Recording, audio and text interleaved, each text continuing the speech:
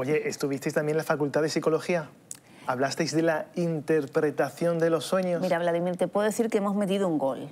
Hemos conseguido que en la cuna del conductismo, donde, por otro lado, mi compañera Laura López y yo hemos estudiado psicología, es decir, que en mi facultad, pues en el salón de grados ayer estuvimos hablando de la interpretación de los sueños de Freud, así que felicísimas, eh, muchísimas personas acudieron y siempre es un tema interesante porque, claro, es, el, es la apertura a un nuevo mundo, que es el psicoanálisis, que es el mundo de nuestro psiquismo, y que todavía pues, resulta como eso, como un continente como las Américas. Ese descubrimiento y ese nuevo mundo, pues el psicoanálisis todavía es para nosotros esa novedad.